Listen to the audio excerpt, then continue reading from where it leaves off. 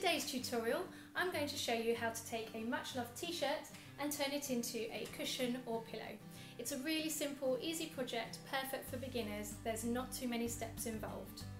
Hi, I'm Emma from Studio 7t7. If you like this tutorial, please do give it a thumbs up and subscribe and let me know how you get on in the comments. So let's get started.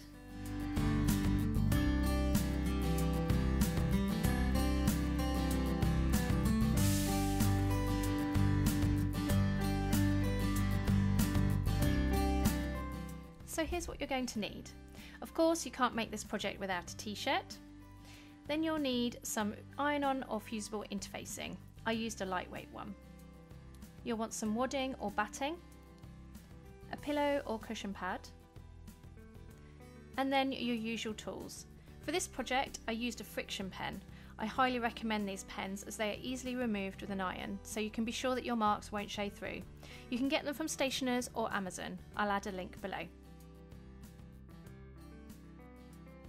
So let's get on to the project. The size of your t-shirt will determine the size of your cushion. It's important to measure the design to be sure that it fits onto the size of your cushion pad. I made just under a 16 inch cover and used an 18 inch cushion pad inner. So you need to cut out a square measuring 16 and a half inches and two rectangles from the iron-on interfacing. These will be the back panels of the cushion and they need to be cut at 16 and a half inches by 12 inches. Check the placement of your design on the t-shirt by laying the interfacing on top of the design before you iron it onto the back. Then you need to cut up the sides of the t-shirt and discard the sleeves. Iron the interfacing to the wrong side of the front of the t-shirt, again being sure of your placement. Mark out your square again with the friction pen and then cut out using a ruler and rotary blade. Next you need to iron the two rectangle pieces of interfacing to the back of the t-shirt as well and press the top edges of each over by 1 inch. If you haven't used iron-on products before, press it in one place for a few seconds according to manufacturer instructions before moving to the next to get a good bond. Then you want to stitch down these two edges to give them a really nice finish. Cut out another square out of the batting to give the front a nice padded feel and a bit more stability. Again, this is to measure 16 and a half inches.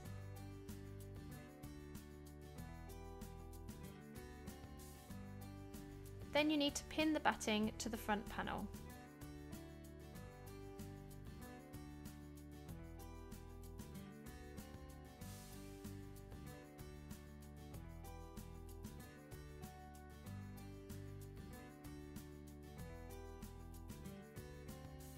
Stitch around so that the batting is secure to the front panel.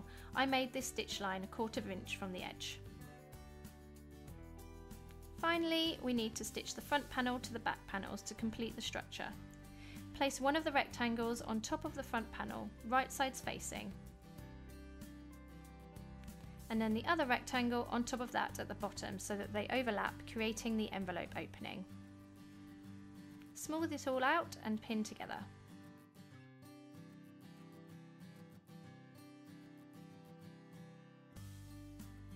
Stitch all the way around with a half inch seam allowance.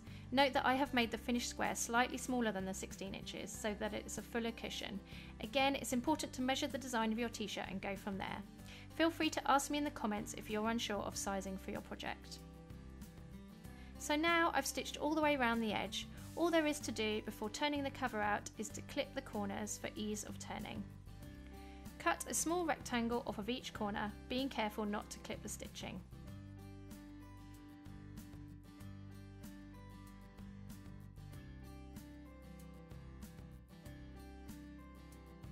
So that's it all sewn up. Turn the cover the right way out and push out the corners. You can also use a pointed tool or corner turner, or if you're careful you can use a pin after you've turned it out to tease the corner out too.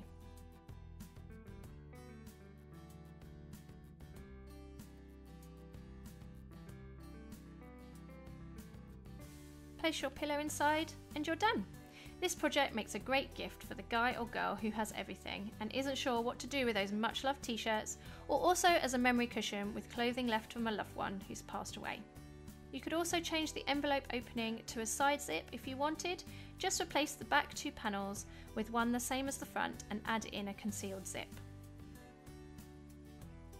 I really hope you've loved this project. If you have, please give it a thumbs up. If you do make one, I'd love to see what you create. You can tag me on Instagram at Studio7t7. I have some great new tutorials coming up, both for beginners and more advanced sewers, so hit that bell to be notified. Thanks for watching.